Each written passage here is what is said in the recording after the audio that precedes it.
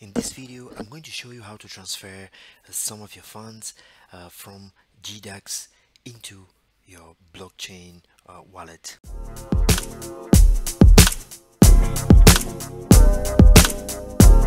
Hello everyone, this is Crypto Rodi from Crypto Basics. And uh, as you can see I am in uh, my account on GDAX uh, I'm actually going to transfer my funds, my Bitcoin into my blockchain wallet. And uh, I'm actually going to transfer all the funds that I have in here. So uh, if I want to withdraw these funds into a different wallet I will need to go into my um, on the left panel of my account and press the withdraw button. And here I all I need to do is click on the BTC address. So now I will need to specify an exact BTC address that I want to send these funds into. So I go to my blockchain wallet. I click on BTC because I'm going to send BTC Bitcoins.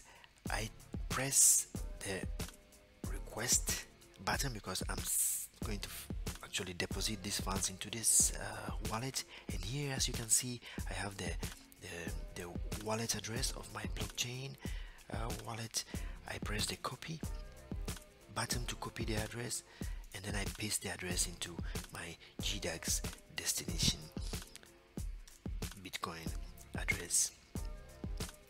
Uh, regarding the amount I want to actually send all the amount so I just press the small max uh, letters in on the top of the box press it here it transfer the whole amount.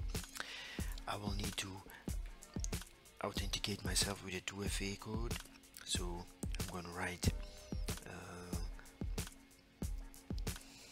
the 2FA code for for GDAX actually I'm going to use the Coinbase uh, 2FA code as Coinbase is one platform together with GDAX so if you guys um, are trying to transfer any amounts any funds from GDAX use your Coinbase credentials in doing this.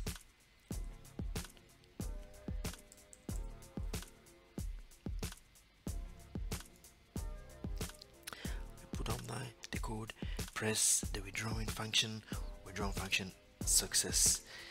As you can see the amount has been withdrawn from GDAX if I look into my balance I don't see anything here because it's been just withdrawn. If I go to my uh, my blockchain uh, wallet. I can see that I've just received uh, the, the amount of coins and of course it's going to be it's a pending mode because they are going they need some confirmations to be done.